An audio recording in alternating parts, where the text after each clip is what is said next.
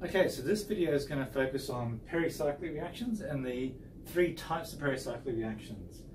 Cycloaddition reactions are where you take two components and they add together to make one new molecule, which is a cyclic molecule. And the most famous of these is a Diels-Alder reaction, which takes a diene, 1,3-diene, a conjugated diene, and an alkene, and makes a cyclohexene. So in that particular reaction, we can draw curly arrows to show the mechanism. So we can have the arrows going in either direction, doesn't matter, but they need to go around in a circle to make the final product.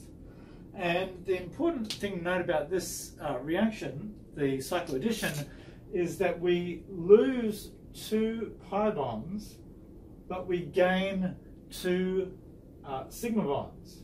And we know that in general, sigma bonds are more stable than pi bonds, and so that would seem to suggest that enthalpically, the Diels-Alder reaction should be favorable. Okay, now this Diels-Alder reaction, or this particular variant of a cycloaddition, uh, we can name that according to a naming convention um, that looks at the number of pi electrons in each of the components. So we could name this a 4 plus 2 um, cycloaddition. Oops.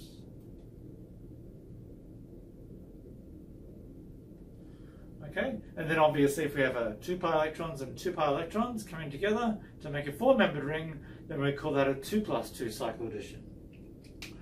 Now, electrocyclic reactions are where we have an acyclic molecule with a certain number of pi electrons, and it undergoes a reaction where those pi electrons um, sort of the molecule sort of uh, undergoes a reaction where those pi electrons move to form a new sigma bond and we lose one pi bond. So overall, this process will lose one pi bond and gain one sigma bond. And so overall, all other things being equal, we would also think that this would be favorable in a forward direction because sigma bonds are generally more stable than pi bonds. But as another general rule, we would expect that there may not be as much of an energetic um, benefit in doing this type of reaction compared to a cycloaddition because we've got only one extra sigma bond being formed. These are all very substrate specific, so we need to look at all the factors uh, involved in the structure of the starting materials and the products to see exactly how favorable these reactions would be. Now for electrocyclic reactions, we just look at the number of pi electrons and so this uh, process has three pi bonds, so that's six pi electrons, so there'd be a six pi electrocyclization. And then the final type of uh, pericyclic reaction is a sigmatropic rearrangement. And so in this case, we would draw curly arrows like this to form how so to show how that forms uh, this uh, other species on the right. And sorry, I skipped over something here, the electrocyclic reaction.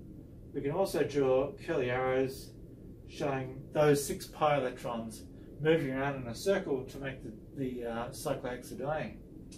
Back to the sigmatropic rearrangement, we've got this um, cyclic transition state. These six electrons are moving around to make the product. Now if you look at this, the simplest case of this particular sigmatropic rearrangement, we've actually got exactly the same structure as the product as we've got for the starting material. That won't always be the case, but for sigmatropic rearrangements, we do have a situation where we, in uh, net terms, we get zero change in pi bonds and zero change in sigma bonds. So to predict which side, uh, which way the reaction will favour, which side of the reaction will be favoured, we'll need to look in detail at the structural um, components of each side and see which one is likely to be more favoured. Okay, so how do we name a sigmatropic uh, rearrangement? We look at where the bonds are being broken and where they're being formed, and we number each side, numbering the atoms involved in that contiguous uh, ring that's formed at the transition state. So here we have one, two, three, and here we have one, two, three.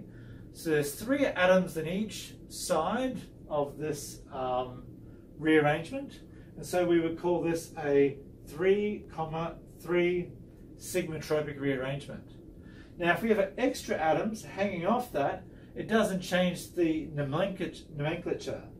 It's only the atoms involved in that cycle that's involved in the actual transition state that goes into the numbering. Okay, so there are the three types of pericyclic reactions.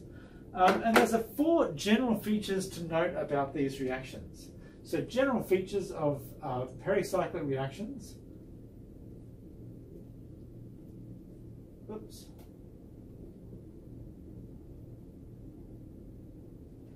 Include the fact that we have a concerted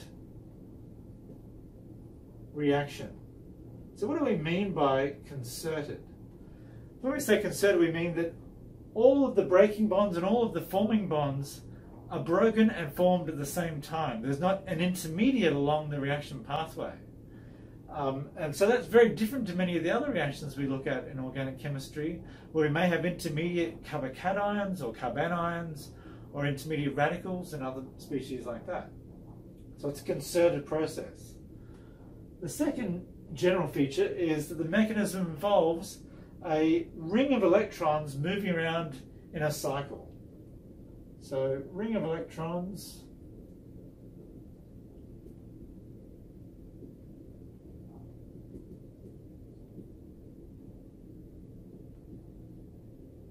moving in a cycle. And that's the mechanism by which the reaction takes place. Thirdly, we're going to have a cyclic transition state. These two are really sort of quite closely related.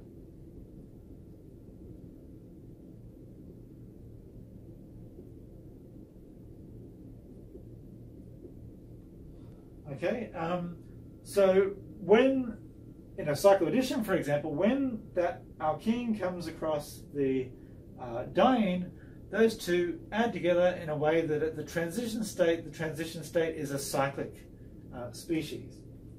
And finally, um, empirically, we find that polarity of the reaction solvent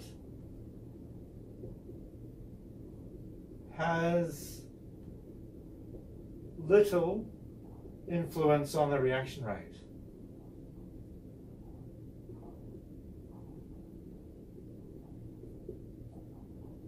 Okay, so that's important because if we had ionic intermediates, we would expect those to be stabilized to different extents by different polarities of solvent.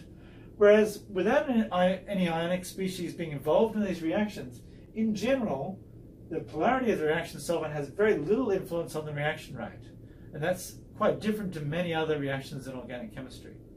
Okay, so there are the three types, cycloaddition, electrocyclic reactions, and sigmatropic rearrangements. Here's how to name those reactions. Here's uh, how the bonds are changing. And there are four general features of these pericyclic reactions. Thanks for watching.